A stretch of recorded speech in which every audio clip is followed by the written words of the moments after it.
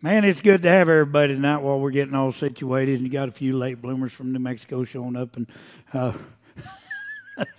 we're good. Murphs are here tonight. How many of y'all said praise the Lord when you saw the Murphs here tonight? Yes, we'll have a little singing. That'll kind of buffer the blow a little bit. We, uh, man, we're going to have a good time in the Lord, and we've been having a good time. Uh, it's, uh, you know, been a pretty interesting deal. I don't think I've seen y'all. Maybe I have, but I can't remember when the last time, how much has gone on. But you know, we had the men's prayer thing over at New Mexico a couple weeks ago. That was an interesting time in the Lord and I think there's a lot of people enjoyed it, and I think there's some that didn't, and uh, that that's plumb okay. Uh, you know, we've gotten to visit on a couple different platforms here over the last few weeks. Went and talked to the Ginners Association Monday morning at Lubbock, and uh, that was that was a really good time because I don't know anything about gin and cotton. I told him, I said, I grew up in Oklahoma, so I think I went to a Ginner's meeting one time, but I don't think it had anything to do with cotton. And so we, uh, I didn't know anything about any of this stuff. But the same stuff we've been talking about over and over and over and over, and I'm not going to quit, is this, this institution of family. And so Sunday morning we had a little gathering there after the horse sale and man, there's some guys about to suck their slippers through their nostrils when you get talking about family. And so before we get in the word here tonight, I just noticed something while I was doing all this. We have a family and you know, kinda in the body of Christ here. I'm not one of them cuddly pastor guys. Have y'all ever noticed that? like if your nose is running, I'll hand you somebody else's Kleenex or tell you to find your own, you know. So, you know, we come in here and teach and learn and do and encourage everybody in their family because even what we do here today, I believe God has ordained it. God called us to it to learn Scripture so we can go home and apply it in our own families. But as far as an institution of religion goes, that's not a God thing. God didn't design that. In fact, God established a perfect heaven and a perfect priesthood, and all that's laid out in the book of Hebrews. But the one thing He did establish, He established a man and a woman, marriage and a family, is what He established in the earth the institution of marriage and family. You can't find anything else. He poured out his spirit and the kingdom was exposed here. And I just want to ask you to think about something tonight, and it really doesn't have anything to do with what we're going to teach tonight. But I want you to think about how dependent you are in the institutions of men around you institution of government, institution of education, institution of religion, institution of medicine, institution of entertainment, institution of finance. I want you to think about how dependent you are in your life to those institutions. And then compare it to how dependent you are on your family. That'll give you something really good to think about. Because one of the things we've noticed over time by promotion of this book. See, that's really what I'm supposed to do is promote this book. Sometimes I get off center and I just find out I just uh, uh, uh, I just explain to everybody what's wrong with everything, but the truth of the matter is I should be exposing this book, but because of this book, we became dependent on this book. And as we became dependent on this book, we became less dependent on the institution of education. I didn't need anybody else to tell me what this book means. We became totally independent of the institution of finance because we now live in God's economy. I'm very dependent. I'm going to say this that you don't need them. You might need them. Use them when you need them. But the institution of medicine is not not going to dictate my calendar as I grow older in life. I hear people say that, and I did that drives me nuts. Well, you know, when you get old enough now, it'll just be about doctor's appointments. No, I'll tell you, when I'll see a doctor is when he can heal steers really good. I'll have him come rope with me. But we become so dependent. So when we get to running our own business in our life, my business, our business, I noticed this weekend I am absolutely dependent on my family for everything we do. 100%. And guess what? Unlike other institutions, I can trust them. They give great advice. They show up early and they stay late. How many of y'all had a little trouble with employees figuring out whether they're going to show up early, stay late, or even show up at all? My family's not there for the check. They're there because we're there for each other. This is what we do. When we have problems, we don't have a Rolodex of preachers and deacons and elders and counselors and people to call and say, hey, come, come fix us today. No, we just get in the pile and knock it out. That's what we do. We just get in the pile and knock it out. We got a lot of issues. We're a heck of a long ways from perfect. But I have become not only dependent on God, but totally dependent on my family.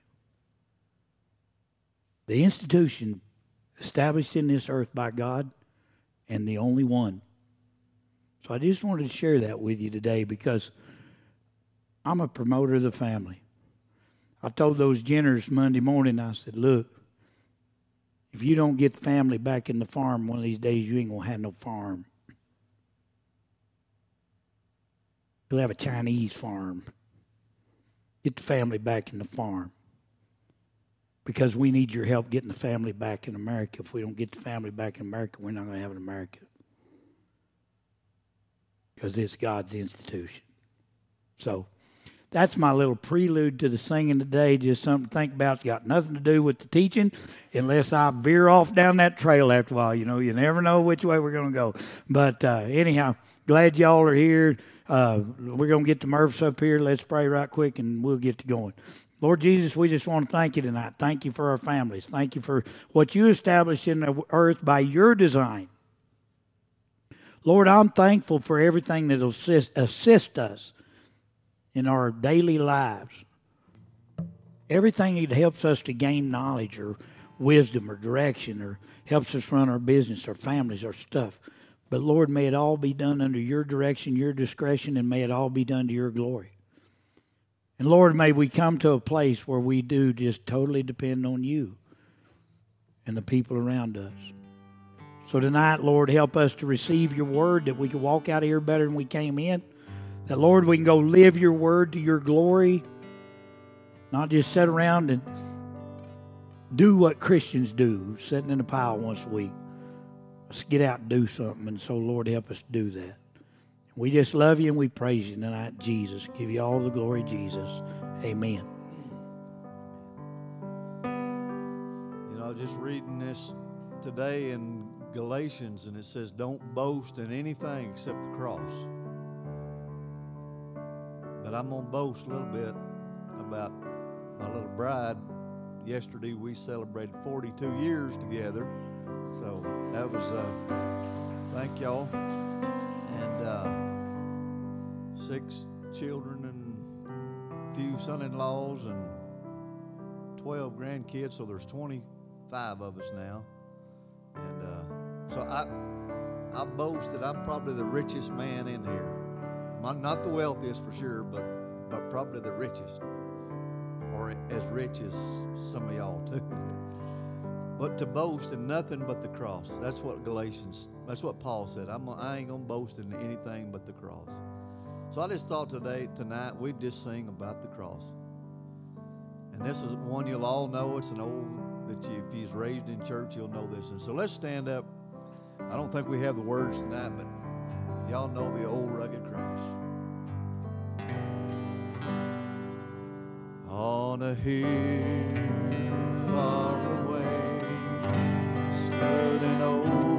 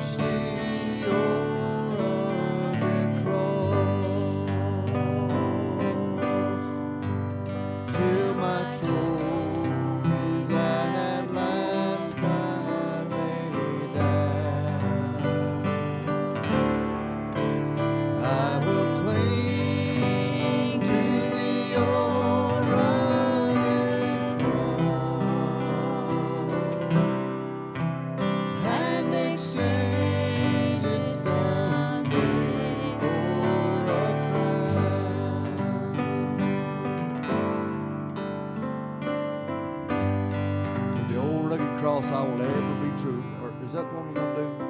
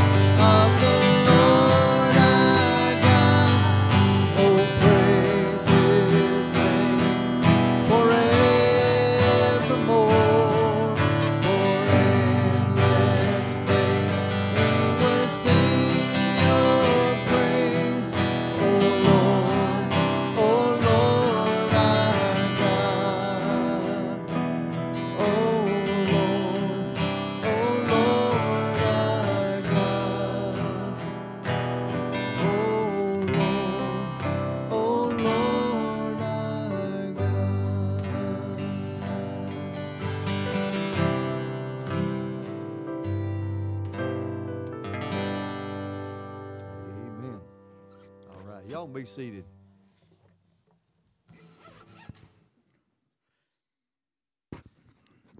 While we were singing them songs, I was thinking about something, especially I cling to the old rugged cross.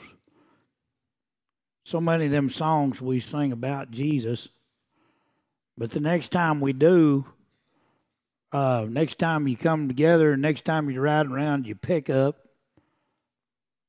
Just shut your eyes while you're singing for a minute and think about singing it to Jesus. What would that look like if I was standing there to Jesus and I just mouthed the words? that today, Jesus, I must lay my trophies down. Today, Jesus, I'm just going to cling to that cross, that one, the one you were on. And I'm going to cling to it till it comes time, Jesus. I'm going to trade you this cross, even up for a crown. Just think about that a little bit. Just some extra little tidbits to think about here while we're going through the week. You know, I'm I'm learning a little more here. It's easy. I'm as normal as anybody. We we stay busy as heck. Anybody follows us around a little bit, and I know a lot of other people do too. It's easy to get distracted. It's easy to get caught up in the moment. It's easy to get tangled up in a lot of stuff. Staying mindful of the word.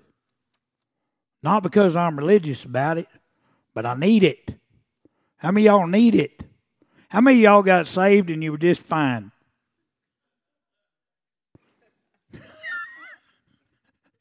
yeah. You just got you just got perfect and you stayed that way. Easy peasy. Uh, Tuesday morning we it was in First Peter chapter four. And there's a piece of scripture in First Peter chapter four that I guarantee you you hadn't heard in mainstream church in a long time. But it says, "If the righteous are scarcely saved, what's the outcome of the ungodly?" And when we was talking about that in Bible study, I I said, "Look, out here we understand running out of water. What happens when your water starts to get scarce?" Boy, it gets your attention, doesn't it? It gets valuable, doesn't it? Yeah. So, what if the righteous are scarcely saved?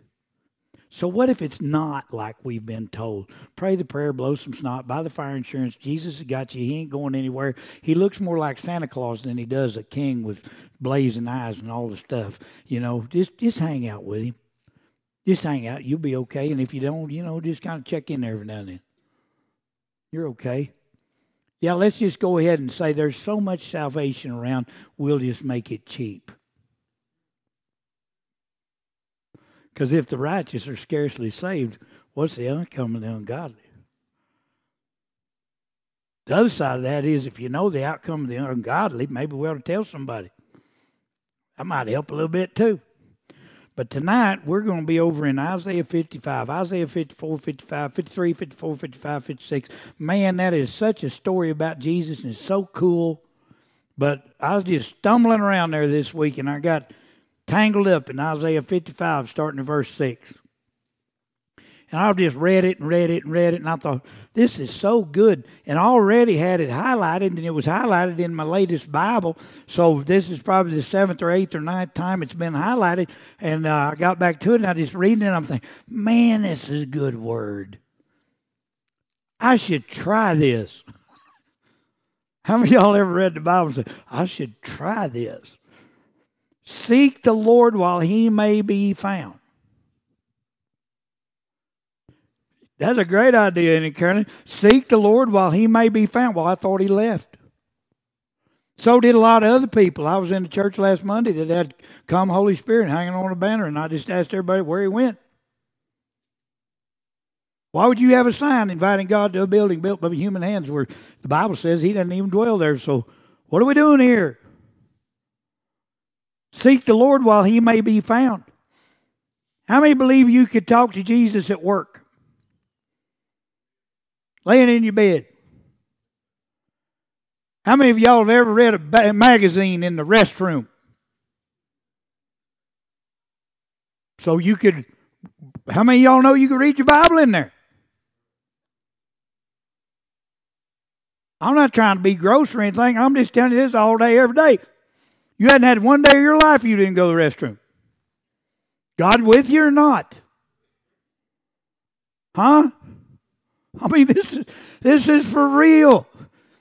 Is he near or is he not? Because Western culture Christianity told you he's out there somewhere.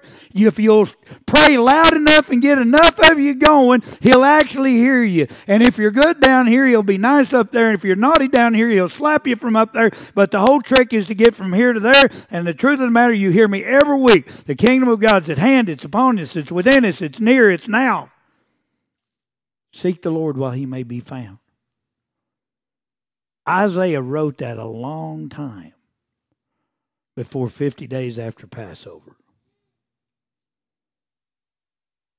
That one time, outpouring of the Holy Spirit was God was made available to all mankind who would seek him while he could be found. Have you found Jesus? He's already found you. You're no secret to God. Call upon him while he's near. Talk to him. Can you do that?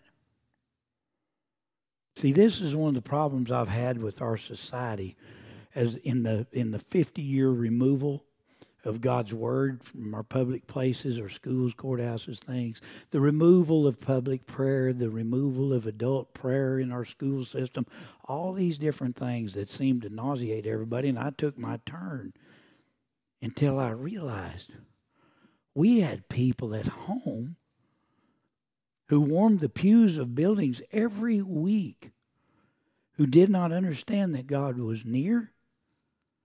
Therefore, they never talked to him like he was near, didn't live like he was near. When I'm at home in my prayer times, I catch myself whispering while I'm talking to Jesus. There's no need in waking the Robin up. It's just me and him. We're good. Do you know he's near here now? Yeah, you just talk to him. I don't have to scream at Jesus. I just got to scream at some of y'all every now and then. But catch one of you kind of nodding off a little bit. He said, Let the wicked forsake his way. Let them do what they're going to do. And the unrighteous man his thoughts. And then let him return to the Lord. You see, there's always an opportunity for the unrighteous in our life. And this is the part I got to remind myself. You know, grace, God has grace for a lot of people that I don't have grace for. Maybe not a lot, but there, there's a couple, three, four, five, six. they can come back. It don't matter how bad you've been. It don't matter. You go in prison all the time, Murph. I used to hang out around there quite a bit. The sheriff, sheriff, there's a lot of good guys in jail, ain't there? They just don't know it yet. Some of them, but they figure it out sometimes. Yeah, they'll let them come return to the Lord. Why would anybody come to the Lord? Here's how we do it in America. Here's how we've done it for years. You better get saved, Curtis Allen, because you might die tonight pulling out on the highway and you're going to hell. Isn't that how we do it? Yeah, and if you belong to the right tribe with getting that water, you're going to hell. Hurry up. Everything's about going to hell. Maybe some of you just been having a little of it. How about we just promote a better way to live?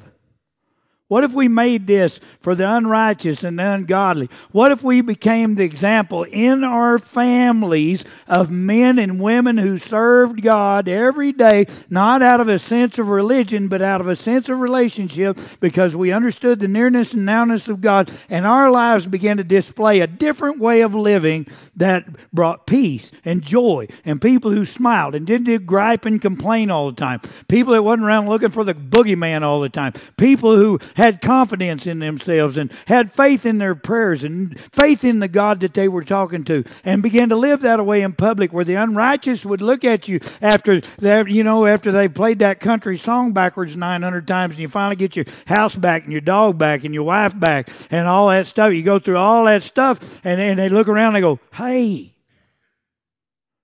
how come you're not like me? You know, we want everybody to be like us. When are we going to start living in a way they look at us go, How come you're not like me? Well, because. But one of these days, there's a way of living here that you just come back to the Lord. But you're going to have to do more than pray a prayer and blow some snot and have somebody lie to you about your salvation. You're going to have to truly get born again. That's how that works. The rest of that is I don't know what that is, but that ain't that's not this. And then he'll have mercy on him. See, I understand that. Because I went to church more than Christmas and Easter. I had a white Bible they gave me when I was 13 years old, and I passed the test. I knew when to stand up and I knew when to sit down, and I could sing the doxology backwards. I get it. But I was unrighteous. And I was unworthy. I was a mess. I was just like he's talking about right here. The wicked. I was wicked. But guess what? When I turned around one day, Jesus didn't beat me up. He didn't cuss me out. He didn't stand me in the corner with my nose in the corner for two weeks until I qualified for salvation. he didn't give me a list of things I need to do. Well, you just need to go take that class again. Well, after you've attended church now for two and a half years, we're going to count you worthy. Right there in my mess, he said, I forgive you. Like all of it. I mean, that's the greatest thing can happen to a man who grew up like me. I mean, I know he's got a list, and I can remember some of it. They ain't no telling how much he got wrote down. And he just wiped the page. It's like he turned around and had my book of all the crud I'd done since I was a little kid. And all of a sudden, there were no more words on the page. It was as though it never happened. Mercy on a sinner. That's why salvation is precious. Not to be taken for granted, not to be watered down, not to be played with, not to be lied about. It's not about your day in the tomb, it's about your day upright, living, living for the glory of God. And our God, He will abundantly pardon. I just wanted to hit on that for just a minute because I believe there's Christians everywhere that are still guilty. You're not guilty in the eyes of God, but you're guilty in the mirror when you're brushing your teeth in the morning. You've, you've characterized yourself by your mistakes because you've had so few successes, and you just think you're going to be a walking screw up the rest of your life. Don't breathe that into your children, okay? Breathe that can do. Yeah, you mess up, get up and try again. God's grace is sufficient for everything we try to do. Come back to Jesus.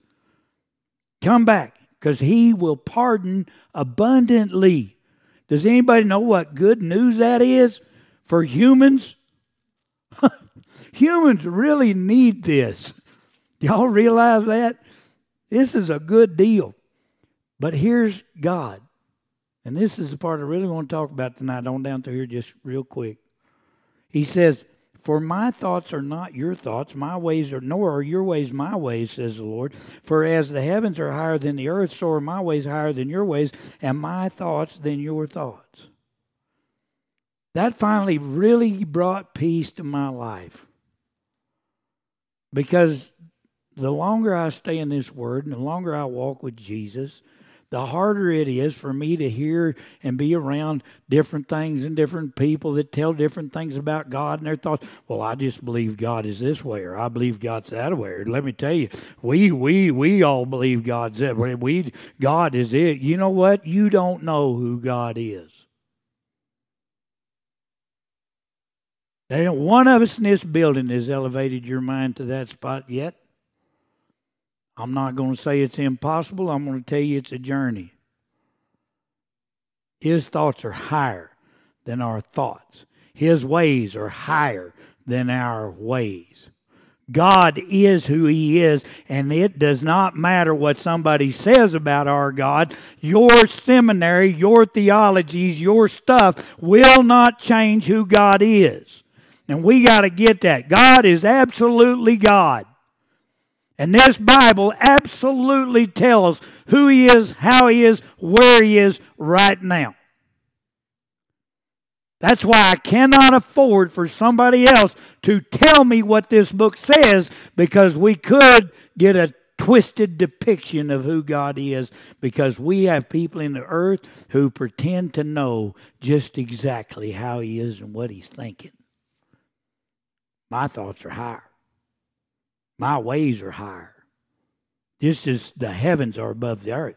Do I have the mind of Christ? I absolutely do. Because the Bible said when I received the indwelling of the Holy Spirit from top of head to bottom feet, that I received the mind of Christ. But until I've renewed my mind, you see, the Holy Ghost, the Holy Ghost won't renew your mind. Nowhere in Scripture does it say, let your mind be renewed by the Holy Ghost.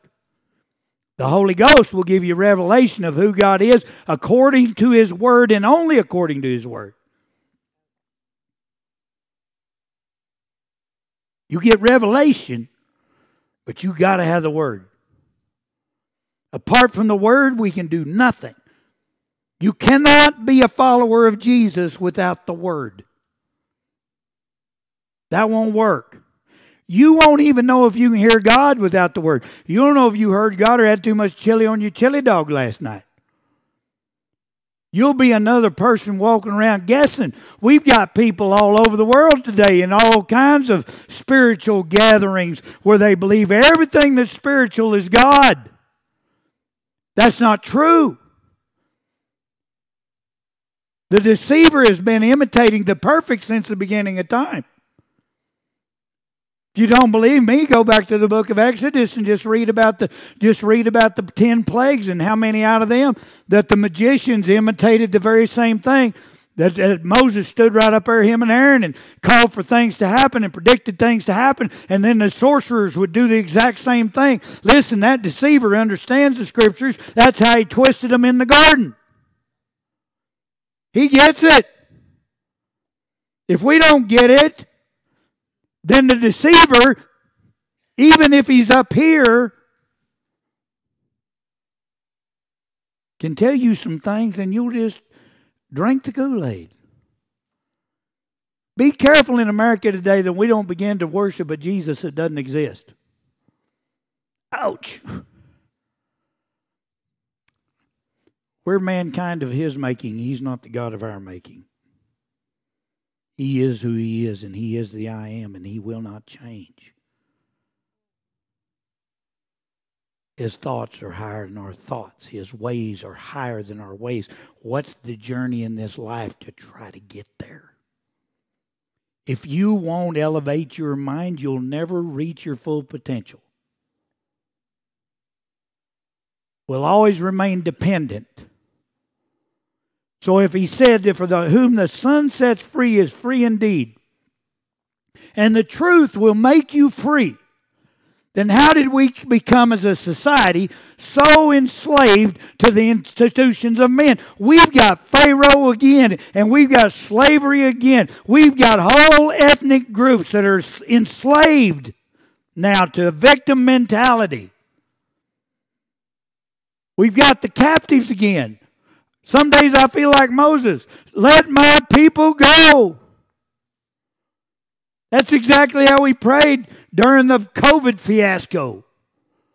Let my people go. Jesus set the captives free.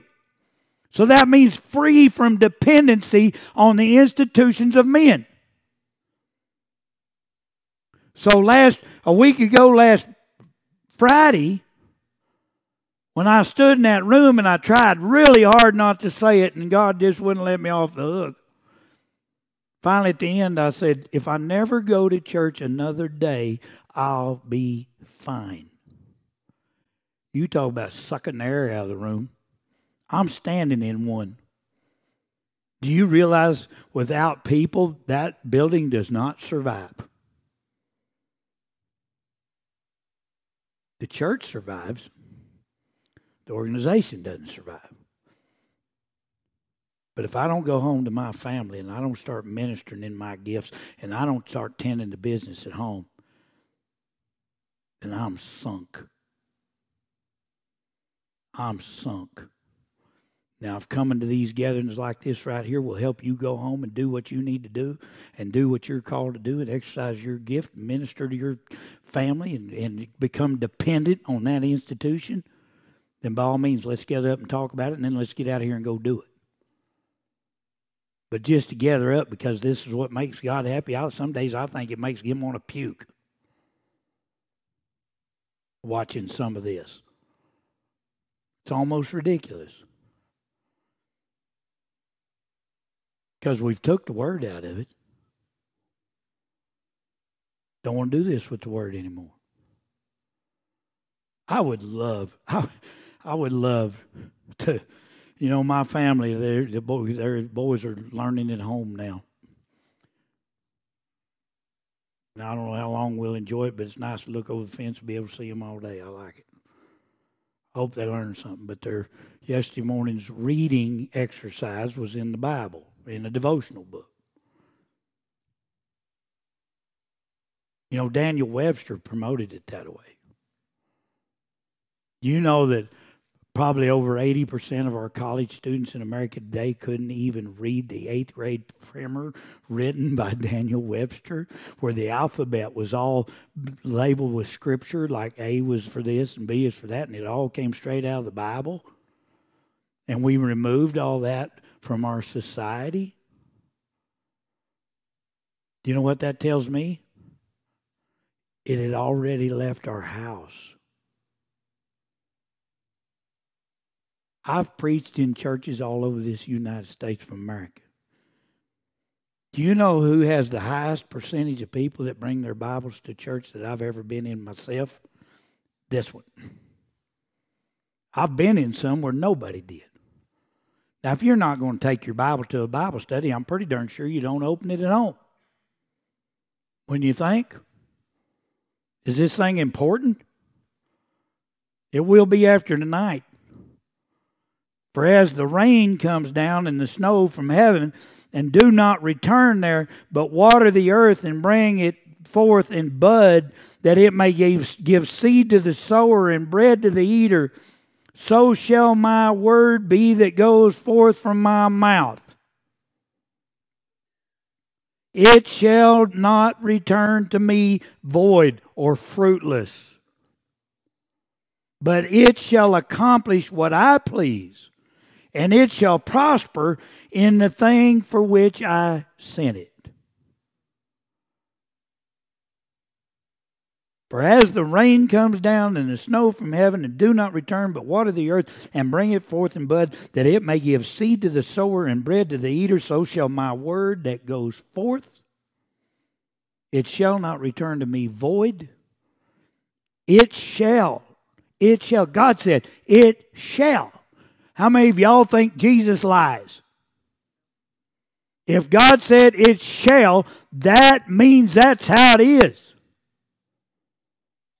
It shall accomplish what I please, and it shall prosper in the thing for which I sent it. I remember one time, because this gets used in a lot of prosperity messages. Seed for the sower and bread for the eater. I'm telling you, every time you get a chance, if you'll hand it to one of these guys in a 14 piece seersucker suit, they'll find everything in here and make it about the money. guys drive, drive me nuts. Money never was seed. Don't fall for that crud. If you don't believe me, go plant a $100 bill in your backyard, come back next year and see what you got. You're going to have a musty $100 bill. It won't grow nothing the Word. So look what we did. We took and made it all about our prosperity, didn't we? Do you want to prosper? Would you like to have money left at the end of the month or month left at the end of the money? This will show you how to sew up the holes in your purse. Seen it happen. The last time we went broke will be the last time we went broke. We've done it enthusiastically. Three times we practiced. So when COVID came and sucked a chunk out of my billfold, we just laughed. Ah, we already did this. God's word is faithful. So let's make a prosperity message out of this right quick. So, what we did at our house, I didn't call my preacher. He wouldn't have known what I was talking about. He'd have probably told me to tithe more. Been his answer. With what? I didn't have anything. And so we gather up as a family. My girls are little.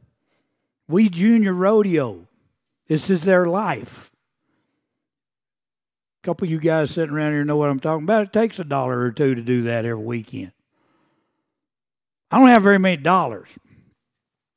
What the bank didn't get, the IRS had already locked up, and I was in a mess. I was in nine line bind, buddy. I'm talking about like it was a real kind. It wasn't just jacking around. I had to ask permission to buy a stick of bubble gum. I mean, it was rough for for a minute. And I just set everybody down in my house, and I, we set the Bible down. And I said, okay, here's a couple things we've got to talk about. I'm just telling you a real life story because I don't like telling somebody else's. So I just laid my Bible down and I said, Well, y'all, Dad has made a couple errors. I was pitching when I should have been catching. I ain't doing very good. I got a couple issues I got to get cleared up with the bank, and I got a little issue with the IRS, and I, I got some troubles. I don't have very much money, like I don't have any. So what I need to know is are y'all okay with me still being an auctioneer and doing what I do for a living? Do you think that's where I'm supposed to be? You think that's our life? Yeah. Y'all agree on that? Yeah. So, this rodeo thing we got going on, do you girls really feel that's where you're supposed to be? That's, that's what we do? Is this what we're going to do? Is this how we're going to live? Praise God, we never quit because it's extremely generational at our house. Praise God, we didn't give up on stuff that's called life. They said, Yeah, this is what we want to do, Dad. I said, Okay, we'll figure it out. I said, I got $700 that nobody knows about. I'll get us some calves Wednesday. I bought one Murph that had a blind eye. I bought another one that was crooked headed with the ear down. I bought another one that was bobtailed. I think I got four for 700, a little under 700. I think I had a little, little change left. So my girls now had four roping calves. We're rich. We're doing good. Oh, I was still working all the time, so we muddled around. We had enough money to pay some entry fees. And I went to reading through my Bible, and we talked about it in that right there. We prayed about it, said, God, take your word and show us how to do this. And He taught me about working and receiving. He taught me about sewing up the holes in my purse, so I started looking where the leaks were. Took a long time to close up the leaks. Had a lot of leaks because I had a lot of dependency on institutions. I got the leaks tied up. We do okay now. Kelsey actually got to go to four years of college roping calves around the neck. That's all she had to do was put a little white rope around a calf's neck every weekend, and she got to go to college. Made it to nationals twice, and won a region once, and because of the word. There was no other reason but because of the word, and it will not return void, and it will accomplish everything that God set it out to do. And every task that you apply this word to, it will bring it to the right place. Every time. It'll do it every time. But it's not going to happen by calling somebody up and say, Can you give me a few scriptures? Well, that might work, but you're going to have to go apply them. Calling your prayer chain just have everybody pray over you because you got your shorts on backwards. That ain't going to work. You're going to have to get undressed and put your shorts on right all by yourself. This book will tell you how to get shorts on right. It's a good book. This book will keep you in right standing with God. So when you come undone over a state livestock inspector in the middle of your horse sale this weekend, this book will allow you to repent and call and apologize and ask for forgiveness so that you can stay in right standing with God and live in peace and not turmoil and not be all jacked up over stuff all the time. I don't want to whip anybody today because of this book. This book, it will accomplish. Now, listen to verse 12, and I'm going to quit. If you do all this, for you shall go out with joy, you'll be led out with peace. The mountains and the hills will break out in singing. Do you realize as much as I love the Murphs, that I can find joy, peace, and praise God with no, they're nowhere around. In fact, if I'm praising God on my own, most of you don't want to be around. It's a joyful noise, but that's at the best. Shout for joy. Have you ever stood in the just at your house and look around for just a minute. And it just shouts for joy back at you everything that God has done at your home. At your home. Huh?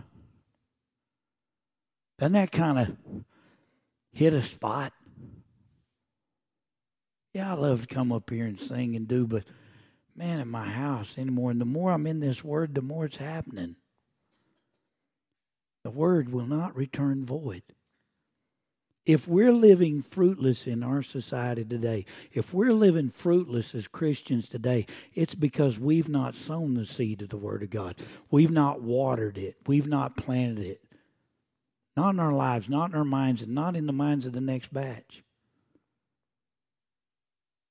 You want things to start going different? You want to live in a more godly community, more godly country? That'll be on the next batch. We got to sow seed and watch it work. Watch how this seed works.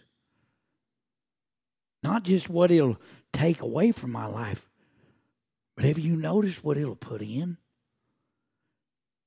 The the joy and the power and the just just reading it again tonight and, and coming here and fellowship a little. I, I'm about ready to wind it up. We got done with that horse sale this weekend. It was the biggest one we've ever had in the history of that sale part.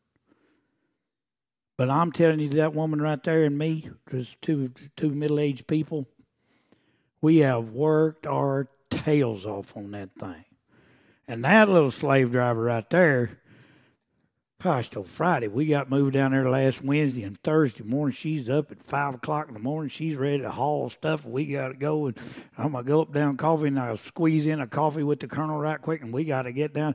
We got a storage building full of stuff's got to be moved and blah. There's a lot of stuff. So we did that all the way till Sunday night. Taking a couple days here. I think it's taking a little longer to recuperate than it used to.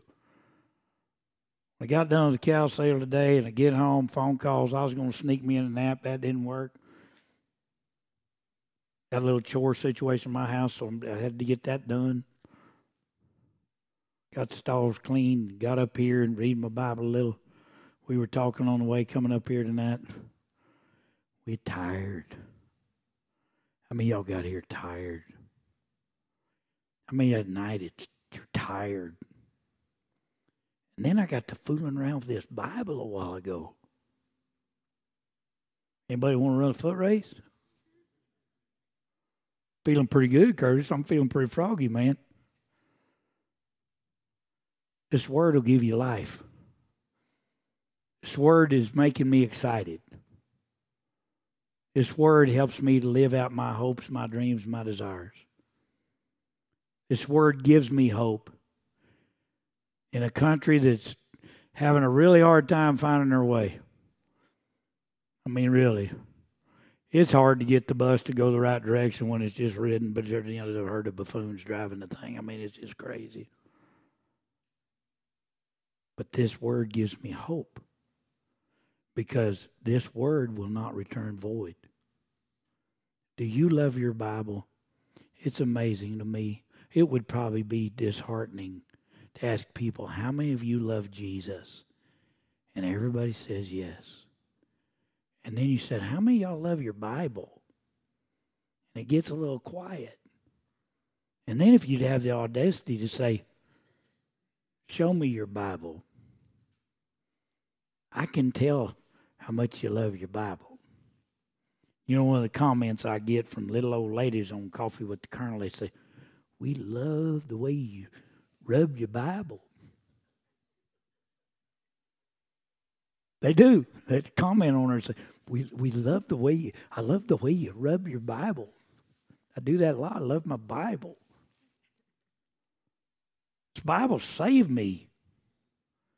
There's a guy that lives in my house named Steve that gets in the way, and this Bible helps with that guy a lot. I don't know what your guy's name is, but my guy's name's Steve, and my Bible helps a lot. How many of y'all would agree? We need this book.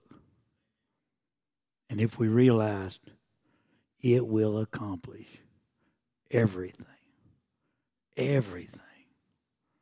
And here's the best part it will renew your mind so you can elevate your thinking and reach your highest potential to the glory of God All because of this road. Not your potential to fill your billfold, but your potential of productivity and fruitfulness. All to the glory of God. This word will elevate your faith because faith comes by hearing and hearing by the word of God. How many of y'all heard me tell you before? Go home and read your Bibles out loud because your voice is the voice that you believe the most. That's what's wrong with most of us. We believe what we say about us. How many of y'all have said anything good about yourself in a long time? I mean, that's a pretty fair question. We're pretty easy to criticize ourselves, aren't we? Oh, I'm a little old. I'm a little bald. I'm a little frumpy. I got this old boy right here, you know. What's the good stuff? What's the good stuff? If we'd say a little more positive stuff to each other and a little more positive stuff about ourselves, we'd probably believe that about ourselves. But if we'll read the Bible out loud, our minds will receive it because our voice is the one we believe the most and it'll begin to create faith. That faith come by hearing and hearing by the word of God. How many y'all got something out of this tonight? Is there anything you can take home with you tonight to make your kitchen table a better place? Make your workplace a better place? Is there anything out of here? Is there anything you might start doing in the morning that you didn't do today? This is it. That's all I got. I just want to come give a little encouragement to one of the best groups of people on the planet. Let's get in this word. I don't care what they say outside this building. I don't care the reports they give. I don't care how that works because that's not how my Bible says. And how many of y'all know that your TV might lie to you? You know what they found out the other day when they made a discovery? Everything that's on Facebook may not be the truth. Do you know Google could be tainted just a tick? Huh? I mean, y'all know this won't lie to you. It'll tell you the truth. Read it for yourself. Read it for yourself. If you hit a snag, stop right there because that's the most important place when you get to that one spot, and I know everybody gets there where you go, Ugh, that don't make no sense. Stay there. Don't move. Jesus, I need understanding. Because that's the downfall of religion in America today. We train people to understand the Bible and then come tell us what they found out. There's no need. The author and perfecter of this book is near. What did it say in the first verse? Seek the Lord while he may be found and while he's near. John 14, 26, I'll send you the Holy Spirit who will teach you all things and remind you of everything that Jesus said. The book of Titus says you need no man to be your teacher. The anointing will teach you. Apart from the Holy Spirit, there is no understanding.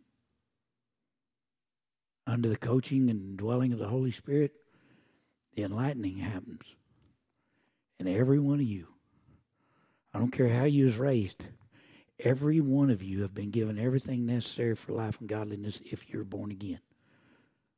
And that includes the Spirit of God who will reveal to you who He is through His Word. Okay? Take that with you. Go be different. Let the Word of God do what it's going to do. Don't be afraid of this Bible. Don't be afraid of it. This thing's not scary. Don't be afraid of it. Okay?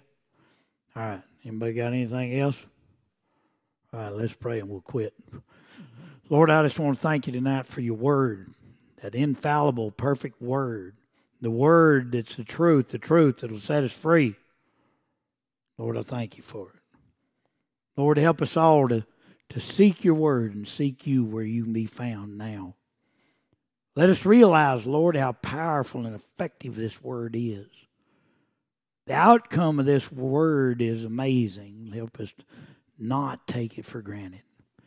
So, Lord, tonight we bless you. I pray, Lord, by the power and presence of your Holy Spirit as you minister to each one of us, that we, would find ourselves dwelling in your presence. We'd hear your voice. Lord, we even feel your presence. That we'd receive your instruction and your revelation. We're your people, Lord, and you're our God. We give you praise and we give you glory tonight. In the mighty name of Jesus Christ, the name above all names, Jesus. Amen.